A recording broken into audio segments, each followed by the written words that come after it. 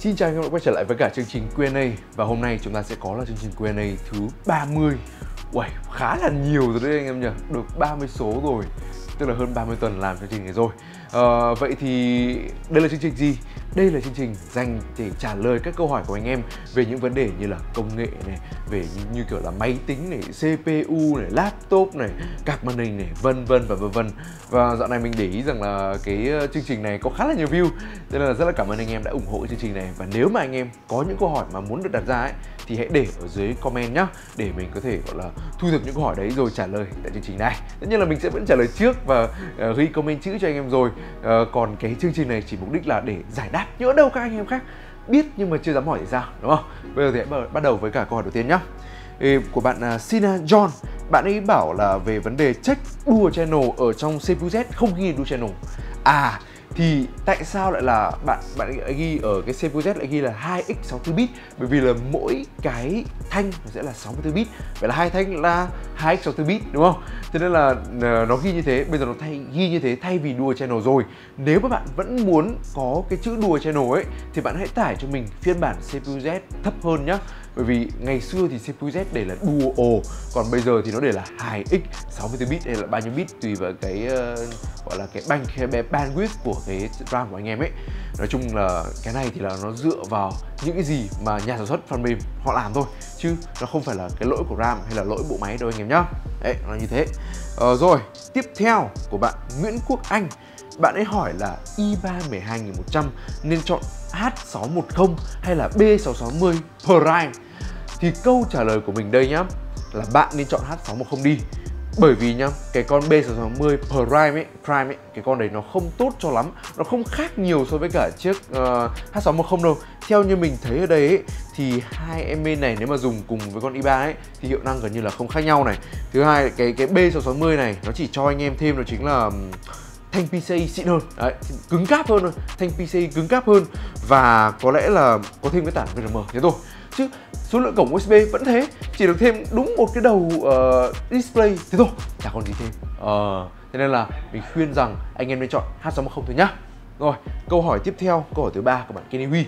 Bạn đang hỏi trong bộ máy. À bộ máy O11 Dynamic nhưng mà nó lạ lắm đúng không thì uh, cái bộ máy này ấy, đang được sử dụng đó chính là quạt uh, Infinity uh, Infinity Fan anh em ạ tức là là cái con Urifan của Liên Ly khá là hay. Chỉ cần cài phát chạy luôn. Uh, cái kit fan này thì hơi đắt một chút nhưng mà được cái là nó rất là ngầu. Và anh em sở hữu thì đúng là thần của fan luôn. Hiệu năng của nó thì mình không đánh giá cao lắm đâu nhưng mà về vẻ ngoài thì nằm một one nha anh em nhá.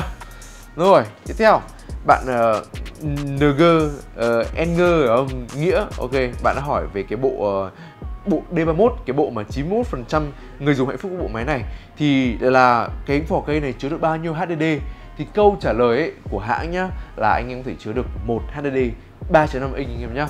Bình thường anh em sử dụng DD, HDD cỡ, đấy thôi chứ không ai dùng 2.5 inch cả. Và đấy chỉ là một cái thôi không nhiều hơn. Tiếp theo là câu hỏi số 5 uh, ờ, của bạn uh, Dewi. Không biết là đọc tên bạn như nào. Thì bạn hỏi là anh ơi chọn fan case tầm bao nhiêu RPM là đủ? Thì câu trả lời của mình nhá chọn fan không dựa vào RPM thứ nhất là anh em phải hiểu rằng là anh em đang làm mục đích gì ví dụ như là anh em thổi rát hay anh em thổi cây thôi hay anh em thổi có thổi qua filter không hay anh em đặt ở vị trí nào.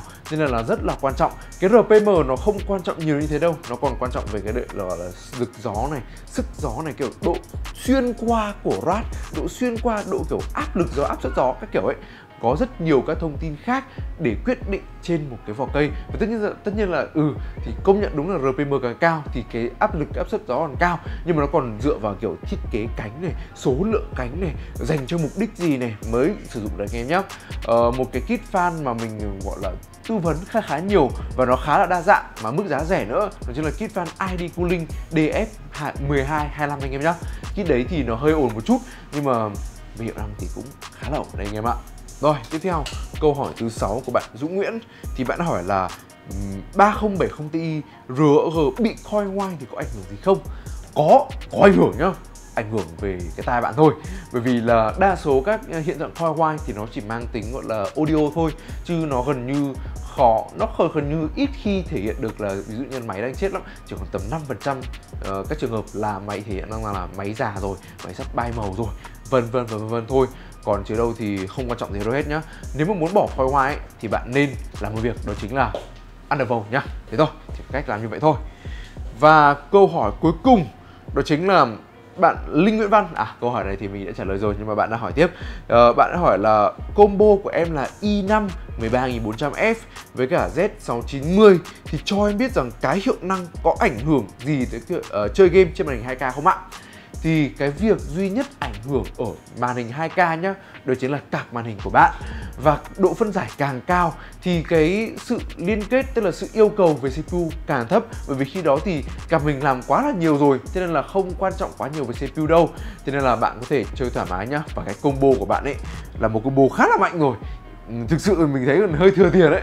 Uh, combo này rất là mạnh rồi. I5 13400 là quá ổn áp rồi nhá. Không vấn đề gì đâu. Uh, bạn cứ chơi thế đi khoảng tầm với cả ờ, 3060 Ti trở lên là có thể quẩy 2K cực kỳ lên một bà luôn nhá rồi, và đó là 7 câu hỏi cho chương trình Q&A số 30 sẽ được phát sóng vào 7 giờ 30 tối thứ bảy hàng tuần anh em nhé. Nếu mà anh em có câu hỏi nào mà muốn được mình trả lời và muốn được mình gọi là broadcast lên cái chương trình này thì anh có thể để ở dưới comment nhé. Cảm ơn anh em đã xem video này và hẹn gặp anh em tại video khác nha.